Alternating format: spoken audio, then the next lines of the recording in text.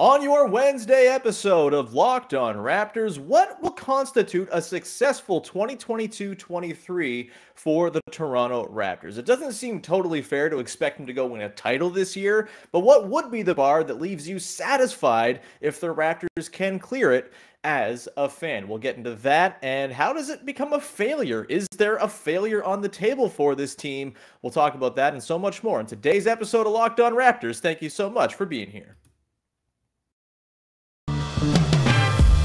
You are Locked On Raptors, your daily Toronto Raptors podcast, part of the Locked On Podcast Network. Your team every day.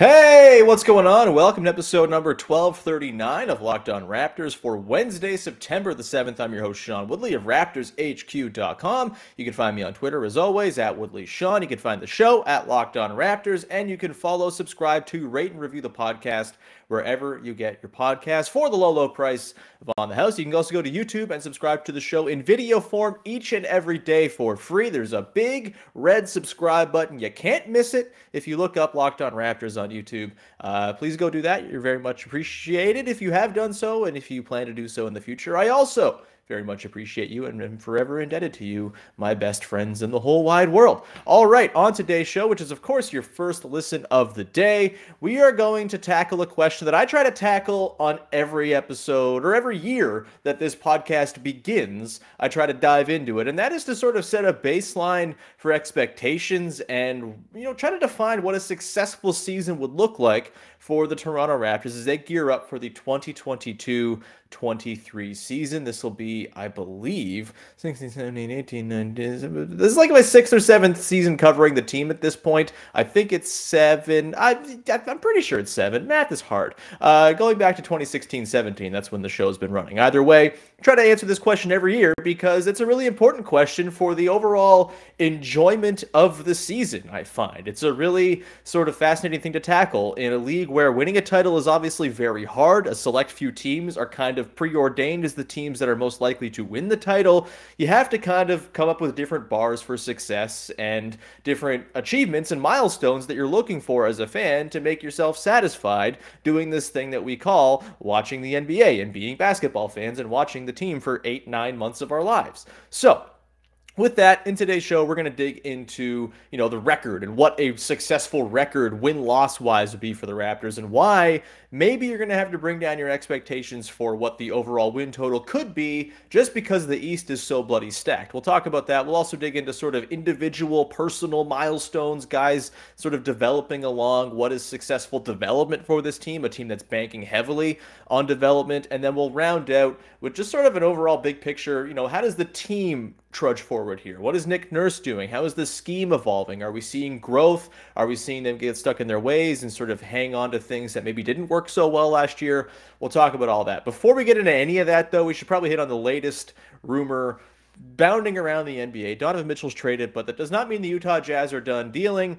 And there was a report yesterday from Brett Spiegel of SI Now, not one of the heavy hitters when it comes to insiders, so take it with a grain of salt, uh, saying that the Jazz are probably going to trade everybody by the time the season starts, and Jordan Clarkson is one of those guys. And I just kind of wanted to quickly talk about the concept of trying to pick the Jazz for parts here, and why I just don't think this is something the Raptors really got to be doing. Like, honestly, I'm fine if the Raptors want to just hang back and not really go and add more to this team. Yes, it's always nice to add talent, and if you can do it for a cheap amount or whatever, the, the cost of acquisition is low, then you do it. But a, we know the Jazz are operating from a position where they're trying to get everything they can as they begin their teardown. Uh, so that's something to be dealt with. Danny Ainge is not exactly an easy negotiator.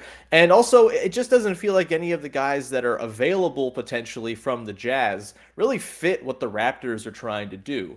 Um, you know, there's been mentions of Bojan Bogdanovic, for example. I just don't see that one happening. He makes way too much money. It would have to be like a Gary Trent Jr. situation going out, and I just don't see the Raptors wanting to make themselves worse defensively in the interest of adding a guy who's a very good shooter to be sure, but would be coming at the expense most likely of your next best shooter in Gary Trent Jr. It kind of feels like shuffling deck chairs for no reason, and the money situation makes that one very difficult. Mike Conley makes way too much money. There's no need for the Raptors to go target Mike Conley right now. I guess there's Rudy Gay out there. If you, you know, the Raptors, of course, now have hoarded Thaddeus Young and Otto Porter and all manner of six foot eight dudes who play on the wing and maybe are a little bit old. Uh, add Rudy Gay to the mix. That'd be kind of a fun full circle thing from what happened 10 years ago when he got dealt away. Uh, but I don't think I'm really itching for that either. It, it really does feel like Jordan Clarkson is the one guy you can kind of talk yourself into from the Jazz being like legitimately decent target for the Raptors. And I still don't think it's something they should do because a the money makes it difficult. You know, you're going to have to do something along the lines of Khem Birch plus Malachi Flynn plus one more salary to even get into the ballpark to try to make it work. The Raptors are going to be dancing pretty closely with luxury tax this year. The fact that they waived Svi Mykhailiuk on a guaranteed contract makes that more difficult as well to ne- negotiate if you're the Raptors. So I, I just I, think the money's tricky. It's like 13 million bucks this year for Jordan Clarkson, and they would have to essentially send out like for like in order to maintain that luxury tax flexibility, the very little that they have.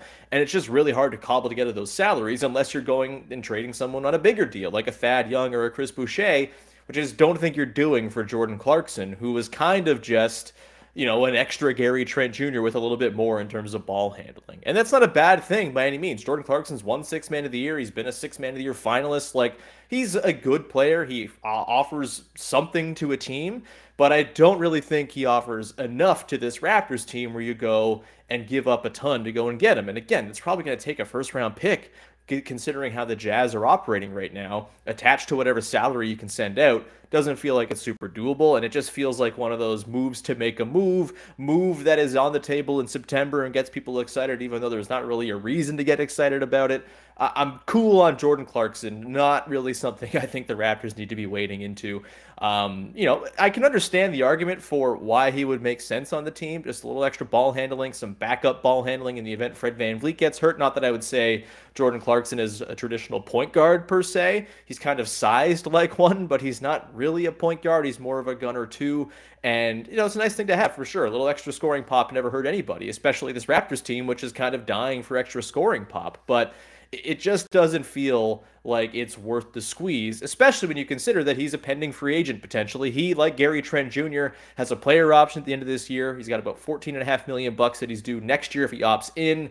And you know that's kind of that could go either way. Maybe he opts in and needs that 14 million bucks to kind of keep making steady money in the NBA as things kind of get stratified and guys in the middle class like Clarkson maybe are looking at lower grade salaries as we go forward here as the higher end guys keep getting paid he's not a max guy and we're finding a sort of you know max guys and mid-level guys sort of stratification here and jordan clarkson could very well be looking at the mid-level if he opts out this season. So maybe the argument is you bring in jordan clarkson hope he doesn't opt out and maybe he becomes your gary trent jr replacement in a way although i think he's a very different player than gary trent jr not the same defender even though i don't think gary trent jr is any great shakes defensively he's certainly better than jordan clarkson. Um, you know and so i guess that's the argument for is you get a little bit of insurance if Gary Trent Jr. opts out and is too expensive to want to keep around, maybe you can keep Jordan Clarkson. Maybe he's wary of going into a free agent market and seeing what's happened to a lot of guys where they've kind of gotten squeezed out, forced to the mid level range, and are making less money. So we'll see. I, I, I just I don't think Jordan Clarkson is a thing for the Raptors this year, and I don't think you can go and get into an arms race with the top end of the Eastern Conference as teams like the Cavs make moves and the Nets come back into play. It's too early, it feels to me, to go and make reactionary moves in response to what those teams are doing. So just sit tight. You know, I, I, think there's a reason to be bullish on this Raptors team, even if it's going to be a more difficult road this year in the Eastern Conference. They're not at a spot right now where they need to go and change up the whole playbook and get off the plan and uh, you know mortgage future assets to go and get a Jordan Clarkson type to maybe make them more of a five seed than a six or seven seed. Um, with that, let's sort of play that forward and talk about the expectations for the season, the win total. Can the Raptors get to a certain threshold?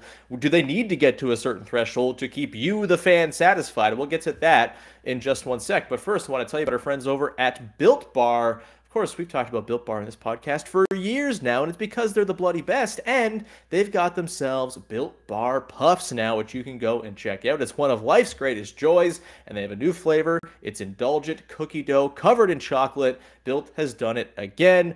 Cookie dough chunk puffs have a light and chewy texture, real cookie dough chunks, and of course they're covered in 100% real chocolate. All the joys of eating cookie dough without the hassle of making it, plus it's healthy for you. All the peeky behind the curtain. I love cookie dough. It's one of my favorite things in the world. I'm a monster I used to, when I was a baker at a Tim Hortons, go into the uh, freezers and just eat raw frozen cookie dough out of the boxes. Uh, yeah, that's what I used to do. It was disgusting, but that's how much I love cookie dough. You throw it into a built puff, you really can't miss. I think the puffs are great. I'm not a marshmallow guy myself at all. I really don't vibe with marshmallows more often than not, but I really like them when it comes to the built puffs. They're tasty, they're light, and they're not giving you all of the garbage that you typically think you're getting when you're eating a combination of marshmallow and cookie dough. It's just not. 160 calories is all they have. 15 grams of protein as well. It's collagen protein, which your body absorbs more efficiently and provides tons of health benefits. You can eat something that tastes good and feel and is good for you. Go to built.com, use the promo code LOCKED15 to get 15% off your order. That's the promo code LOCKED15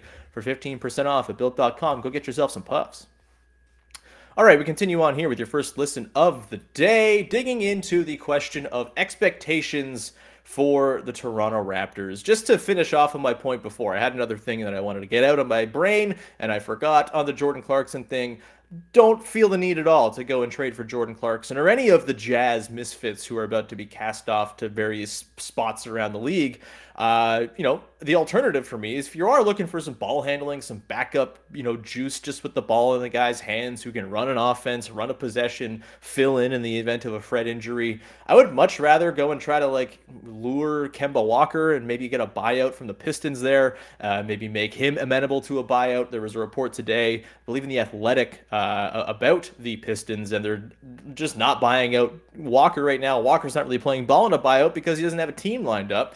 If you want to go and get Kemba Walker on the minimum, that to me is the move. If you're looking for extra ball handling, you don't have to go trade stuff for Jordan Clarkson when he might be gone in a year anyway. You can get Kemba Walker for a year at two million bucks and be happy with that as your 10th or 11th man and not really have a whole lot invested in him. Anyway, but besides the point, let's get to expectations, shall we?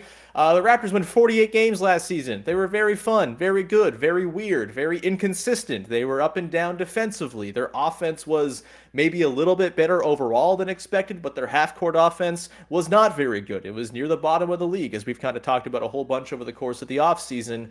Their transition offense wasn't even that effective. It was near the bottom of the league in efficiency. They just ran it up in terms of volume and were scoring enough in transition to make it all kind of work and sing.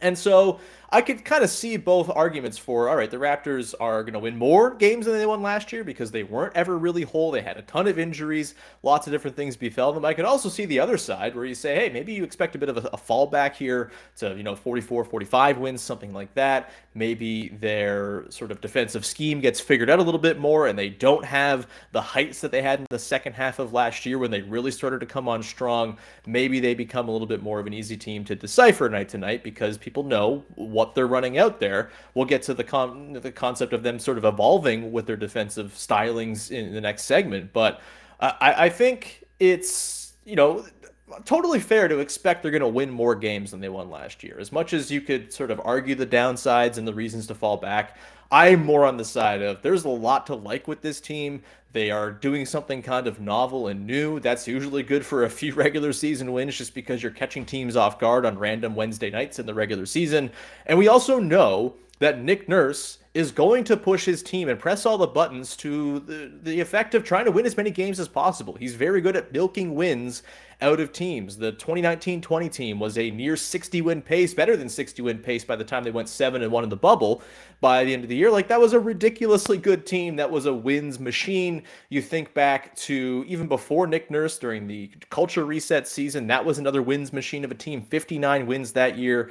Like this team just wins games. Obviously new cast, different players, different people, but Nick Nurse has been a through line through most of it and he's very good at finding a way to maximize what his roster is going to give him. Even in the Tampa season, before COVID hit the team, I sort of reiterate this all the time. They were on their road to being like the fourth seed in the Eastern Conference in that Tampa season, despite all that was going on. It, it, you know, Nick Nurse is good at his job, as it turns out. There's reasons to quibble with him and have your issues, but very good at getting wins out of the basketball teams that he coaches, which is pretty fantastic. So, with that, you know, I, I, think you probably hope at least 48 wins is kind of the, the threshold that the Raptors can hit this season. I think they have 50 wins in them just because of all the different things we're talking about and the fact that I'm imagining there's going to be quite a bit of internal development as well from guys like Scottie Barnes and Precious Achiuwa and maybe even Pascal Siakam and Fred Van VanVleet, no Anunoby, the sort of old heads who we know maybe there's some growth in there as well.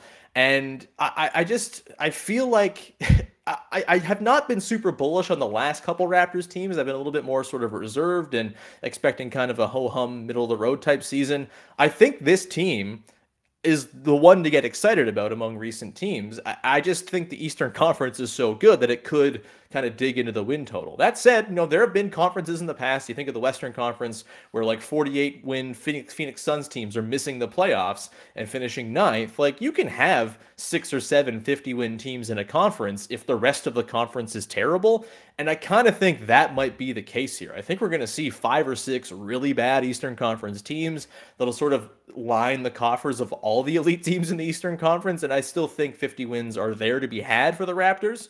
It's just probably going to require that it's a bit more of a, again, clumped together Eastern Conference like it was last year, where you have all these teams kind of fighting it out. You start getting teams piling up the 60 win totals. That's going to, just because of the fact of math, there's only so many wins to go around in a season. That's going to cut into what the Raptors are able to do. But if like the top six or seven teams in the East are all kind of around 50 wins, there's no reason the Raptors can't be one of those six or seven teams. I think they will be one of those six or seven teams. Um, but I also am not looking at this season as all right. Well, the win total is the thing that's going to define the success for me. Maybe that is what you're looking at. There's also the playoffs you have to look at as well. What is the nature of them getting to whatever their record is? What do their peripheral numbers say? You know, are there bits of growth when it comes to you know how they're getting their points, how they're stopping the other team, how they're evolving their defensive schemes, things like that. That's all kind of part and parcel to this discussion as well, and how you sort of define success depends on all the context that goes into it, right? Like you can have a 45 win team that sees obvious internal growth from guys who, you know, is pretty good against good teams and, you know, it, punches well against the, the elite tier or whatever. And you can still be happy with that and say, hey, that's a successful year. Um, I guess there's a little bit more black and white when it comes to the playoffs and advancement there. They lose in the first round in six games last season. You know, you can flip a coin in, in a couple of those instances in that series. Maybe the Raptors go on to win it. Game three being the kind of one that stands out with Joel Embiid hitting the big three to put him up 3 0 and make it pretty insurmountable for the Raptors, even though it seemed like for a second they might go ahead and do the thing. Um, you know, it's tough to come back from down 3 0. A couple things go differently. The Raptors maybe have a chance in that series, considering James Harden did not have himself an amazing series. The Raptors have a pretty good scheme for Joel Embiid most of the time. They started to slow down Tyrese Maxey as they altered their coverage as the series went along. Lots of good stuff happened in that series. And I think for sure you view last season as success for the Raptors. I guess it then comes into, you know, what do you want to see from them in terms of advancement in the playoffs this year? For me, I think there is a little bit more sort of gray area to it than just, well, they make it to the second round or they don't. I feel like there's lots of folks who would say this should be, be a second round team. Based on what happened last year, you take positive steps forward.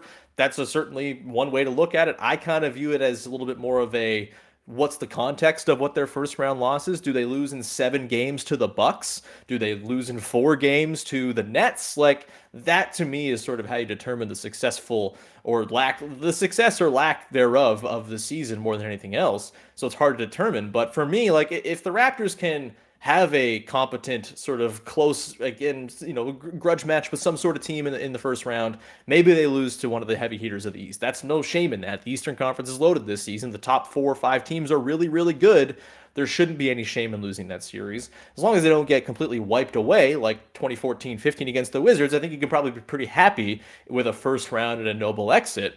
Um, but, you know, you don't want to have too much stagnation, right? And uh, two straight first round losses will certainly rub some people the wrong way. And I will say, as much as I'm not putting that kind of heft on this season, I don't think that they need to make the second round for this to be a successful year. I think the individual storylines of players growing are going to be way more important, as we'll get to in a second. But if you know, the Raptors go and lose in the first round again this season, then the honeymoon is over. Like, that's it. Next season, it will be all right, get past the first round, or we're going to start thinking about some things, I would assume. It does feel like this team is in a little bit of a joyous state right now where they have some runway, guys are under contract, although not for super long. And, you know, this season, if it goes well, that, you know, is another positive step forward and everyone feels good. But if it's the same result as last year, maybe different contexts, different circumstances, whatever, then I do think there will be sort of corners of the fan base who are like, all right, well, shit or get off the pot now. Go win a series, please. And the honeymoon phase will be over. The expectations for the following season are going to be a hell of a lot higher in a way that I don't know if they are coming into this year, just because last year did feel like found money in a lot of ways. So as far as like the win total, if they can get to 48, 49, 50, I think that's great. If they are anywhere under like 45, then I'm sure something's kind of gone wrong here. And that probably means they're very much in the play-in mix as opposed to the top six mix, which is what you want to be in, of course. It's going to be tough to make it there with the Cavs jumping up and all of the good teams that are in the East already. But I, think, you know, the, the win total for me is not really going to be the defining thing. The playoff advancement is not going to be the defining thing of success for me. The defining thing for success this season, to me, will be what do we see from the internal development, which the Raptors have put a whole lot of weight into and a whole lot of expectation and hope on. We'll talk about that in just one second here. But first, just want to remind you that Locked On NBA is available for you each and every day on your favorite podcast apps. Go check it out. Uh, subscribe, follow, rate, review, tell a friend. It's uh, YouTube, all the different Apple podcasts, Spotify, Google, Odyssey, etc., etc. Subscribe to Locked On NBA every day, and they are breaking down all of the stuff going on across the league. All right, we will continue on here, round out the show with some final thoughts on the expectations and the sort of thresholds for success for the 2022 23 Toronto Raptors. And like I said just before the break, I think the Raptors season is very much going to be defined by what we see from the internal development side of things. Not so much the win total, not so much the end result, but more so do you see positive steps forward for the guys who are important and who need to make positive steps forward if the Raptors are going to fancy themselves one of the contenders of the Eastern Conference in, you know, 23, 24, 25 beyond. So there's a few guys obviously who come to mind here. Scottie Barnes is number 1, like I don't really know how to properly evaluate Scottie Barnes. He was so bloody good as a rookie, so beyond expectation that setting my like baseline level of expectation for Scottie this year feels a little bit difficult. I find myself a sometimes feeling like I'm low on what Scottie can do, and then sometimes feeling like I'm too high on what Scottie can do, and it's all because I have no idea how to sort of take the pre-draft expectations for him, the pre-season expectations for him last year, the way he blew them out of the water last year, the things that still need some work for sure, like the sort of game to game, scheme to scheme, defensive cons- consistency. The three-point shot obviously had some moments last year, but for the most part was pretty ho hum and below average you know, it's hard to kind of put all this stuff in to come up with like, all right, this would be the season I'd like to see from Scottie Barnes. But I do think like the things that will define a successful year for Barnes are like, does he get better at the stuff he was not so great at last year? Does he improve as a defender? Does he become a guy who kind of matches the reputation that he's already sort of carrying? Like he seems to have this reputation as an ace defender. I don't think we saw that from him last year necessarily, but eventually, you know, if you start gaining that reputation, it's going to become reality at some point. Like there's there's a reason why these guys are calling out Scottie Barnes and saying he's an excellent defender. There's something going on there. If he can tie it together a little bit more, be a little bit less over aggressive at the point of attack where he's getting blown by all the time, a bit more of a team defender, sort of helping and filling in the gaps that Pascal Siakam so often has to fill by himself as he's recovering and cleaning up the mistakes of others. Like that will go a long way, I think, to sort of defining this as a successful year for Scottie Barnes. Same goes for, I think, just like his usage within the team. And I think for the Raptors to truly feel like they've had a successful year that was worthwhile, that did all the stuff you were hoping to see, they need to feature Scottie Barnes pretty prominently. To me, like I said, the vision for this team is Siakam and Barnes are the dueling heads of the snake. Everyone else is in their orbit, but they are your primary initiators, and you're seeing what you can do with it maybe you learn that Scottie Barnes is not going to be a number one on the ball creator this season. Seems premature to learn that, but maybe you find that out. And that's useful. That's important. Maybe you won't define it as success for him, but finding and knowing exactly what you have and, and, sort of going forward with that, that's super important as well for a team at the stage that the Raptors are in right now. You know, Scottie's got plenty of time. I don't think this year is a defining season for him or anything like that, but you certainly want to see some growth forward. And I think a leveling up of his role within the team is kind of number one for me. So it's not even totally on Scottie. It's kind of on the front, the, the front office and the coaching staff to sort of put him in the position to take those steps as well, which I think they will, because why wouldn't they? They're totally invested in Scottie Barnes, as they should be. He's he's fantastic, and he was rookie of the year for a reason. When it comes to other guys, I think there's sort of three guys who stand out as the sort of key developmental figures. One would be uh, OG Anunoby. Again, another year where he is coming in with, you know, I think a lot of expectation. I, I kind of think we know what OG is at this point. Like he's just like an excellent, wonderful basketball player that every team needs. He going to be more than that in terms of on ball creation and stuff? I don't really know. He feels like he's maybe got a little bit more of a robotic game and not sort of the flow and ease with which some of these on ball creating wings are able to create offense and sort of get into the flow. I just don't know if OG quite has that. He's a little bit too rigid for that. That's fine. I have no problem if OG is the exact same player he was last season. Obviously, the political side of it all, and you know, is he happy? Is he happy with his role? Is he getting enough looks? Blah, Blah blah blah blah. That'll, I'm sure, be like a small undercurrent for this season as well, based on the offseason reporting that came out. But I kind of think we know what OG is. But if there is something more in there, if there is an extra gear of ball handling there, that goes a long way to sort of changing the fortunes of this team, I think. Um, and so we'll see. But again, I don't think there's really like failure on the table for OG unless he completely falls out, uh, you know, off a cliff when it comes to a three point shot or something like that. He feels like he's pretty steady, but there is like an upside there that everyone seems to perceive is still there with him that could certainly take this season from being, you know, another proof of concept for him, uh, you know, that he's like a really excellent 3 and D wing who's not your number 1 option or number 2 option. If there is a click there, then things get really interesting really quickly. Next guy's Precious Achiuwa. He might be the most important, honestly. I might have ordered these wrong. Precious as the sort of guy who makes the vision six foot nine work. I still fully believe that's the case. You can't make this work unless you have a guy who can do center type things, you know, setting screens, dive into the basket, picking and popping. Obviously, defensively, can you play multiple coverages? Can you play a drop? Can you come up high? Can you do everything in between?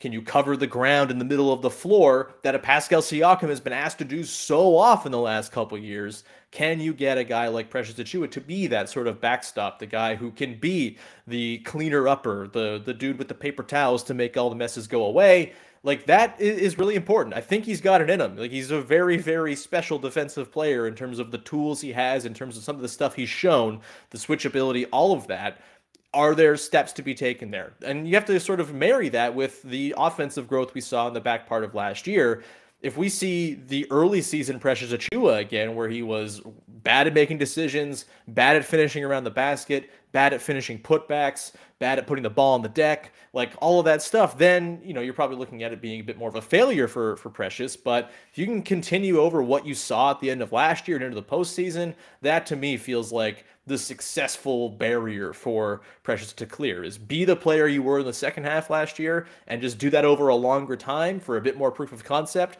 To me, that is incredibly important. One for the Raptors' vision, the roster they have actually working, and B for him as like a long-term core piece with this team, which I feel like he is, and I feel like he's kind of unquestionably one of those guys right now. But uh, you know, things can go wrong. Guys have all sorts of hype, and then they fall on their faces, and things happen. But I think he's really massive for it. And then also. Another important guy here I think, is Gary Trent Jr. And obviously, things are complicated by the fact that his contract is coming up at the end of the year, potentially, if he opts out, which he probably will at this point. Um, and that, I mean, maybe he won't. Maybe he'll realize that 18 million bucks or whatever he's making next season is what he's going to sort of be able to slot into, and he can make more money as the cap goes up the following season potentially. Maybe he does opt in and kick it down the road a little bit. That's for way down the road for, for us to figure out. But as far as Gary Trent Jr., like I do think there's a lot riding on this season for him to prove that he should be part of this team long term. The defense, I think, needs to sort of continue to be a little bit more disciplined. And while he's a great high event defender, he also is the reason for a lot of the breakdowns because he's sort of the initial guy who gambles and then gets burned that's tough, especially for a team that values rotation and being in position so much. If a guy is instantly getting out of position, it's just kind of a thing you're playing catch up on for the rest of the 24 seconds on the clock. And, you know, I, I wonder if maybe they kind of rein things in a little bit more here in terms of their overall offense eh, and the, the way they generate offense, right? Like where they get turnovers, they get offensive rebounds. That's their main bread and butter. I wonder if they kind of dial it back a little bit this season and trust themselves to be good in the half court. Gary Trent Jr. will be very important to that as well. He's an excellent three point shooter. Can he add a little bit more in terms of playmaking to his game? Again, he's 23 years old or something like that. There's certainly room for him to grow. I haven't seen tons of great signs that it's coming, but if Gary Trent Jr. adds a couple of little wrinkles to his game, I do think that kind of changes the outlook for him with the team going forward and, you know, their their level of investment in him. If he stagnates a little bit, if he, you know, doesn't succeed, if he's brought off the bench or if he gets perturbed because he's not closing some games because Precious Achiuwa is sliding in there, then I think it gets a little bit icky. And, you know, you could be looking at this being kind of a disaster season from the Raptors and Gary Trent's perspective because all everything gets muddled. What's the future? Does he get dealt at the deadline for a team that has designs on winning a lot of games again? Like that could be a really, really sore spot for this team this season if you don't see that growth from Gary Trent Jr. that makes him a no brainer part of this team going forward. And I do think he has to do some things to make that the case. Like, again, the defense and the playmaking and just the general shot selection. I know sometimes they need him to be the bailout guy. He's kind of like the old Serge Ibaka, where sometimes you just got to have a dude who's willing to let it fly, but sometimes he can shoot them out of games. And that, uh, I think, is going to be a really, really interesting thing to watch this season. So, you get some internal growth from guys like OG and Precious and Trent and obviously Scottie. You know, there's Siakam and, and Fred are kind of part and parcel to this as well. Like that to me is way more telling of whether we'll determine this a successful season. If they win 44 games, but you see that growth from those guys and you've got a little bit more clarity on what the future is going to look like, to me that's success for this season. And then the last thing to kind of consider is just the overall, you know, I kind of just mentioned there with Trent, like the overall approach that this front office and coaching staff takes to this team and this vision that they've kind of concocted here like do they dial things back a little bit do they trust they can create a bit more of a half court offense? Do they have the plan in place to try to create a bit more of an elaborate, efficient half court offense, which was just not good at all last season? Can they, you know, leverage Scottie Barnes into a little bit more creation? Can they use Fred Van VanVleet's excellent tools as an off ball guy to milk a little bit more out of the half court because they're funneling things through Siakam and Barnes?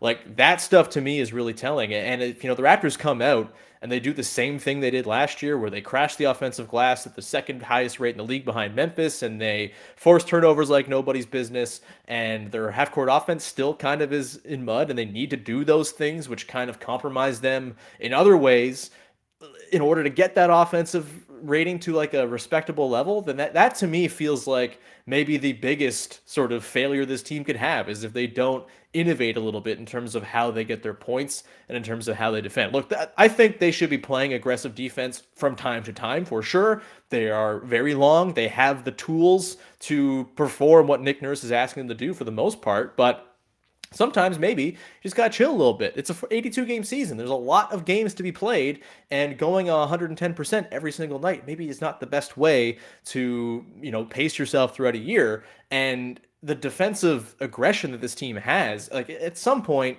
I do wonder if it does play into the lack of success offensively. They're expending so much energy on one end, it makes it difficult to get things rolling on the other. Like that is going to be such a fascinating storyline this season that I'm really keeping an eye on. And I think there will be some evolution. I think there will be some ways in which they try to liven up the half court offense a little bit. We know Nick Nurse is going to coach defense first, and that's just the way it is. I wonder if the success in the back part of last season might free Nick Nurse up to spend, I don't know, a day or two on offense in training camp this year as opposed to his usual zero time on offense in training camp? Like, do they find different sort of sets? Do they work more pick and roll in somehow? Um, maybe that opens up space for Malachi Flynn to get in there with a with a back end role that's really i think going to be like the biggest overarching thing not the wins not the even the individual players taking steps but does the team evolve and sort of adapt to the people that it has on the team a little bit more and show some growth there and show some versatility because right now it's kind of a one trick pony. It's a very fun and cool and exciting one trick pony to watch but if you have designs on winning major games down the line you know two or three years from now pro- probably time to start mixing things up and work on maybe being a little bit less gimmicky in the way you go about getting your points. You know, it can certainly work, and we've seen the Grizzlies have success with the offensive rebounding sort of sellout as well. But I do wonder if maybe there's a way to bring a little bit more balance to the team now that perhaps you can look at the half court offense and say they have the tools here to put together something at least halfway decent and not bottom five in the league. Uh, that's kind of it I have on, on, thoughts in terms of you know what success will look like. I suppose you could also look at the back end bench guys and say, hey, if Delano Banton or Justin Champagnie can pop, that will certainly go into the idea of this being a successful season. If Malachi Flynn can make his way in the NBA and actually, you know, sort of perform, all of that's on the table too, as like things that could swing whether you view this as a successful or unsuccessful season. But always like to take the time to sort of set those expectations and feel free to jump in the comments and let us know who or, or what is going to define success for you. Some people are title or bust. That's not the way I go about it because I think that's a pretty joyless way to live in a sport where, you know, a third of the NBA has never even won an NBA title. Doesn't seem like a way to actually enjoy yourself necessarily, but you know, different strokes, whatever. Um, but yeah, let me know in, in the comments what, what you think as far as what would be a successful season for the Raptors this year. Uh, and with that, we'll round it out there. Thank you so much for tuning in. We'll be back again tomorrow with Katie Heindl Topic TBD, but I'm sure it will be fun because we love Katie. So that'll be tomorrow. And then Friday, uh, working on some guests and stuff like that as well. So it's the off season. Planning things out is a little bit less of a priority. We're just going to kind of talk about what we're feeling like talking about. And we'll be back to daily the week that Media Day kicks off. So September the 26th, I believe, we'll be returning to our daily schedule. So you have that to look forward to as well.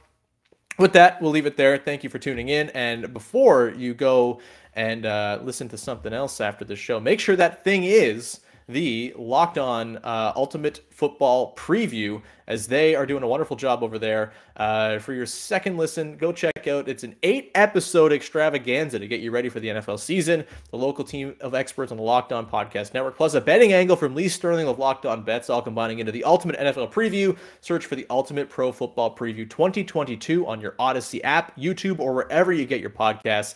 It's one of the best things we do all year. I had a hard time finding the copy to promote it, uh, but it's not for lack of it being great. It's fantastic. Go check it out if you're a football fan with the season drawing near. I think this weekend is week one. Um, so that's awesome. Fun, t- fun times. Go check it out. The Ultimate Pro Football Preview for your second listen. And we will talk to you again on Thursday with another episode of Locked On Raptors. Bye bye.